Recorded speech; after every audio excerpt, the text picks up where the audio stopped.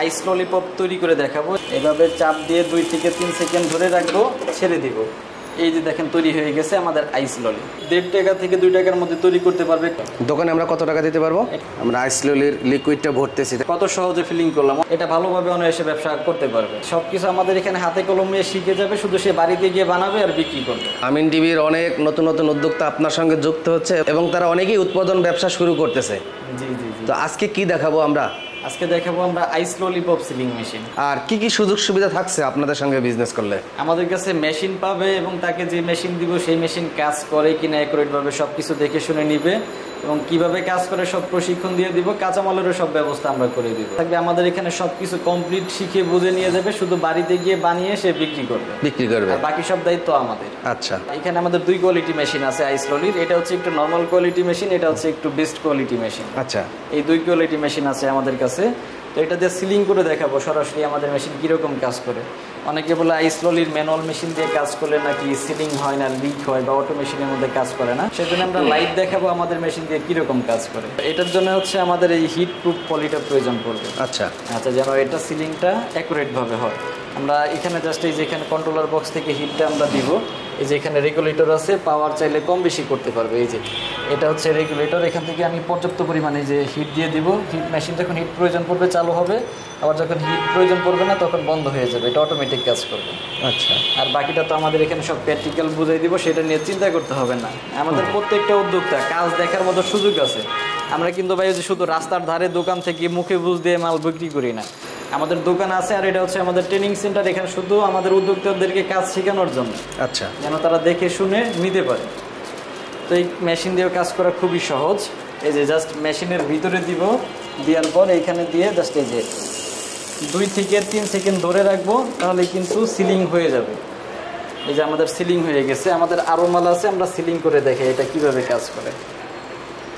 এখানে হিট বেশি হলে কমাই দিতে পারবে, আবার কম হলে বাড়াই দিতে পারবে। চাহিদা অনুযায়ী করতে পারবে। জাস্ট এই যে এখানে দিয়ে এক চাপ দেব। এক চাপ দিয়ে ছেড়ে দিলে এই যে সিলিং হয়ে গেছে। কাজ করা কতটা সহজ এই মেশিন দিয়ে? আশা করি পোলাপান বা মহিলা মানুষ দিয়েও যারা কাজ করাতে চায় করাতে পারবে এই মেশিন দিয়ে অনায়াসে। যে মুখগুলো দেখতে পাচ্ছেন সবগুলা খালি একটাও সিলিং করা না।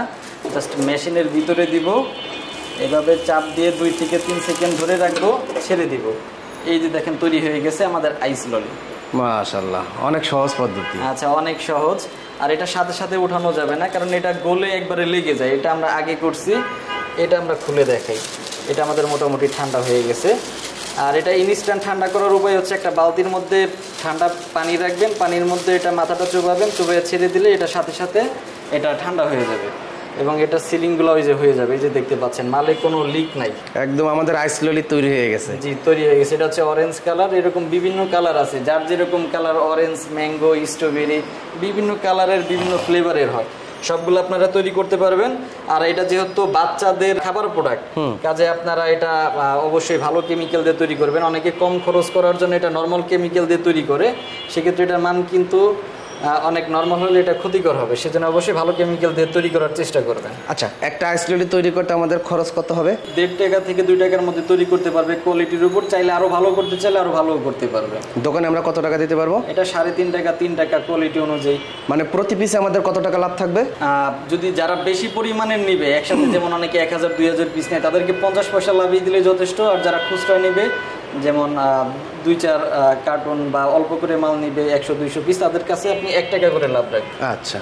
তো আপনাদেরকে এটা আমাদের মেশিন সিলিং করে দেখালাম। আইসললির কিন্তু সবাই সিলিং দেখায় কিন্তু কেউ কিন্তু ফিলিং দেখে না কারণ এটা একটা জটিল একটা প্রসেস রবো আইসক্রিম যেরকম সহজেই সিলিং করা যায় ফিলিং করা যায় মানে ভরা যায় পাইপের ভিতর টেপ লাগিয়ে দিলে হয়। আইসললি কিন্তু অতটা সহজে হয় না। সেই জন্য ড্রামের মধ্যে আমরা দুইটা সিস্টেম রেখেছি। একটা হচ্ছে ড্রামের মধ্যে এই যে এই এই মেশিন সিস্টেম আর একটা হচ্ছে direct tap system direct tap থেকেও করতে পারবেন এই মেশিন দিয়েও করতে পারবেন।